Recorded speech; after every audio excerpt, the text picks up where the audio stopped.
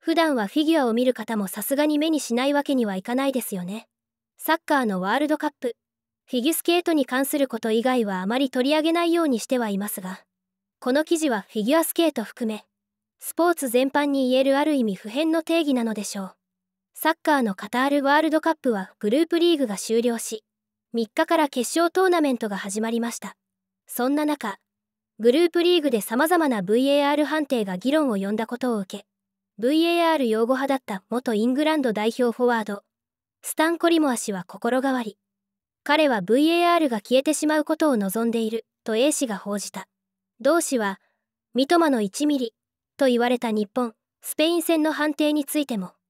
道徳的に間違いだ、などと主張しているそうです。A 氏、ミラーは、グループリーグのポーランド戦で、アルゼンチンフォワード、リオネル・メッシが VAR の結果 PK を与えられたこと、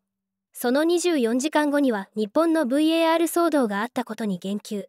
その上で、ミラースポーツでコラムニストを務めている元イングランド代表フォワード、コリモア氏について、導入当時は VAR の大の擁護者だった。しかし、彼は今完全に心を変え、VAR が消えてしまうことを望んでいる、との立場を伝え、同氏の主張を紹介した。それによると、コリモア氏はワールドカップには世界最高の審判が出ているべきだ。トーナメントの終盤では特に、ここ数日を見ていると、グループリーグが終わった時点で VAR を見捨てるべきだったという説得力のある主張がある。と決勝トーナメントから VAR を廃止すべきとの立場だという。例に挙げたのが、グループリーグのアルゼンチン、ポーランド戦。この試合で起こったことは本当にひどい判定だった。実のところ、メッシに PK を与えたダニー・マッケリーの決断は私が見た中で最悪の VAR の判定だった、などと断じた。この試合では、ポーランドのキーパー、シチェスニーがクロスに飛び出した際、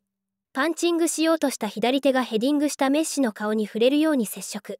VAR 判定により PK となった。さらに、日本、スペイン戦についても言及。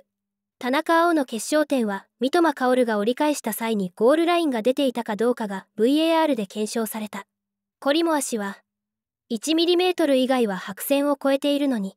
それでも入っているとする状況に陥っているなんて信じられない。イングランド人からすればドイツが敗退したのは素晴らしいことだがあのボールが入っていたとされたことは道徳的に間違っており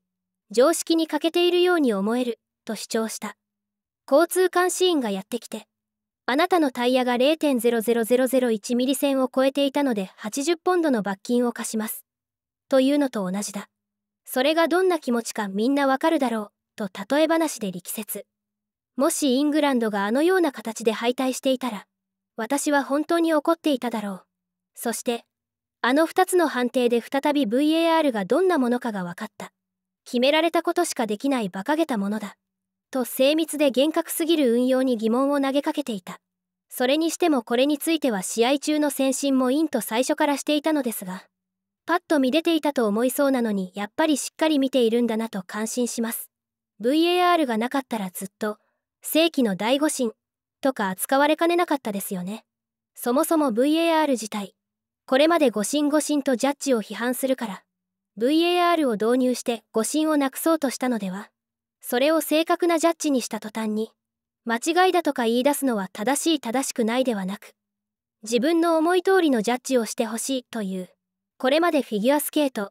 ジャンプ競技含め各種スポーツのルール変更を頻繁に行う際に、含まれる欧州に有利にしていく考え方の根底なのかと思います。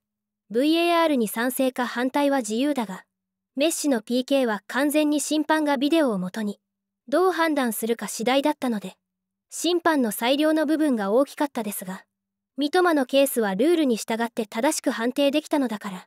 そもそも道徳的にも正しかったということになると思います。南米のマリーシアを封じるために VAR を導入した結果アジア勢が躍進して、実は自分たちは今まで守られていた側に気づいて、今度は一転して VAR 廃止を主張し出すという、すがすがしいまでの欧州の典型的な様式美の姿がこちらです。というツイートがバズっておりますが、まさしく、ということで、いいねや賛同する内容のコメントが圧倒的です。ちなみにここで持ち出されているマリーシアとは、ざっくり言うと、サッカーの試合において見かけるジャッジにバレないように反則をしたりよく見かける絶対痛くなさそうだったのにめっちゃ痛がってアピールしたりするようなものを総称して言うのですが解釈はいろいろお国によってあるそうですフィギュアスケートにも早期に VAR が導入できると良いですね。最後に今回の VAR 騒動ですがドイツでは前田選手の頭が反応して誤作動したのではと話題になっているそうです。